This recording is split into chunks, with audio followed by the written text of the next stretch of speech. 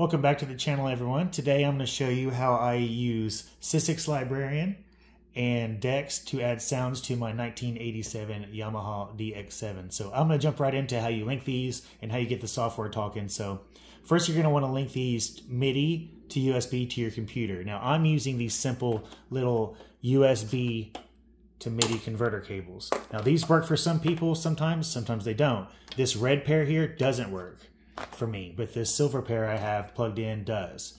Um, if they don't work for you, any audio interface that has MIDI in and out should work, and they also make MIDI transmitters and such. So right now I have this set up to um, just a factory ROM here that I put on. So if I switch it, I've got my factory ROM 1 that would have came with this thing in 83.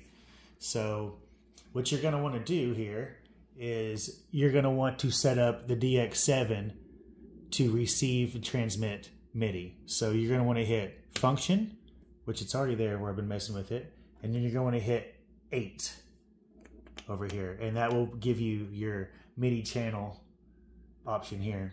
It's going to be set to channel 1 because that's the channel that's going to talk to uh, SysEx Librarian for you. And you can change over here with your uh, with your dial, your buttons, just like how you change your parameters. So make sure it's set to 1 and then you're going to want to hit function and then you're going to want to hit 8 again. And that's going to bring up your system info. And it says right now it says system info unavailable. You're going to want this to say available. So if you change your uh, dial over here again just like you would changing your algorithms or whatever you can change it to available. So then after that you're going to want to hit your internal memory. And then as you can see there, your internal memory protection is on. You're going to want to hit your yes, no buttons, your plus one buttons to turn it off. And that's going to open up your memory for it to receive the patches from the computer. So over here on the computer, I have Dex set up and then I have SysEx Librarian set up. On the SysEx Librarian, you're going to want to go through and you're going to want to select whatever input. So right now I have the USB MIDI interface, but you're going to want to choose whatever you're using. So I have some patches already brought up, but if you want, I'll add some um, links to some of the cool websites you can get tons of patches. You can get all the factory ROMs and everything for these. So if you hit cartridge here, now all of my saved patches are here in this file. So if I hit show directory, it's going to bring up all my patches. So we're doing a Madvillain tribute show, which is the MF Doom Madlib thing. We're doing the entire Madvillain album or Madvillainy album. We did it for Halloween, but we're going to do it again. So I need to put these patches back on my DX7 that I made for that set. So right here I have my Madvillain DX7 voices.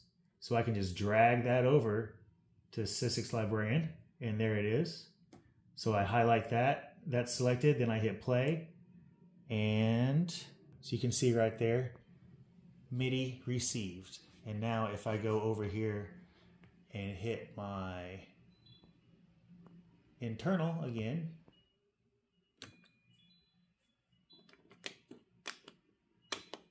oh, these button, these old buttons, I hate them.